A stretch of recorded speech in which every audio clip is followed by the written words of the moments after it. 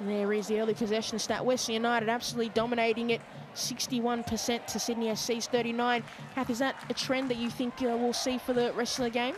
I think it'll change as the game goes on. You know that Western United love to play with the ball. They like to play out from the back. And at the moment now, Sydney FC, once they do receive the ball, especially in those transition periods, and looking to go forward quickly, could be something that they've trained this week coming up against Western United. And a nice ball forward from Vine and Ibini with the touch. And it's fallen back. There is Abby Lemon to finish it off for Sydney FC. A really nice bit of play from Cortnee Vine to start it. And there was Abby Lemon after a disappointing 45 minutes last week. She was able to slot it away this weekend.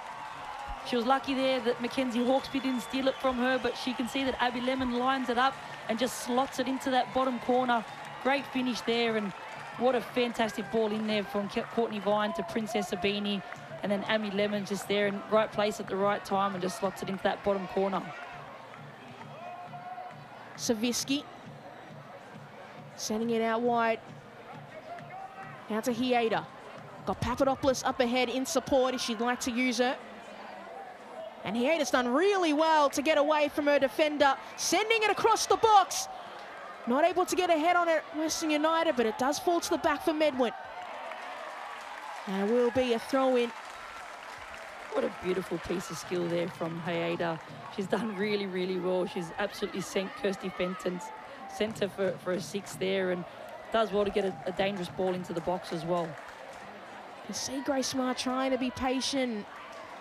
Just immediately under pressure. Vine's done really well to bring the ball under control. Off the post and back into the hands of Hanson.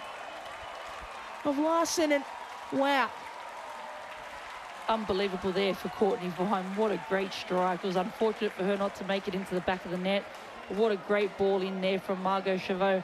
You can see she, as soon as they win the ball, they just look to get in behind and they're looking to, to transition quickly against Western United. My apologies, Taylor Ray in behind there. What a great ball by Taylor Ray.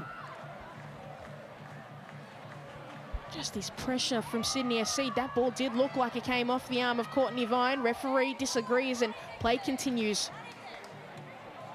Out wide to Ibini. Ibini cuts inside. Still Ibini with that strike and sailing over the crossbar. That's Princess Ibini's bread and butter there. She loves that move. She loves coming in on the left-hand side and cutting in on her right foot and looking to curl it at that back post. You know how good she is 1v1, her ability to be able to beat her opponent and get that half a sniff to be able to get a strike off that goal. That's just Princess Ibini's bread and butter there. Now it finds a Beanie. Ray. Nice ball in from Taylor Ray and Cortnee Vine. Just couldn't control it, but Taylor Ray, that pass, once again, she's been on fire this evening. She sure has, and we know that Taylor Ray has got these qualities. She's a fantastic midfielder. She's got an eye for, for those balls, and it's something that she does very, very well. And it was just unfortunate there. Cortnee Vine just doesn't get the right foot onto it. There is Alana Cerne looking for a short option and ends up going long to Papadopoulos.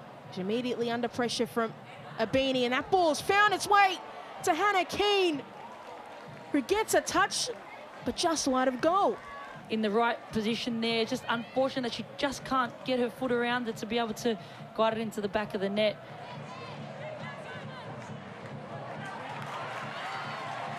Ibini trying to feed through Cortnee Vine. He's got space ahead. Still Vine inside now. Vine with the effort. And she doubles the lead for Sydney FC. It was just a matter of time. And Cortnee Vine may just have sealed the three points for Sydney FC this evening. What a great finish there by Cortnee Vine. You always know when you get that ball in behind and Cortnee Vine's going to get on, on the back of it that it's always going to be some sort of ball in the back of the net for her and she's done really, really well. She takes a touch forward, she cuts back on her left foot and she just slots it away nice and perfectly. Fantastic finish from Vine. Taranto.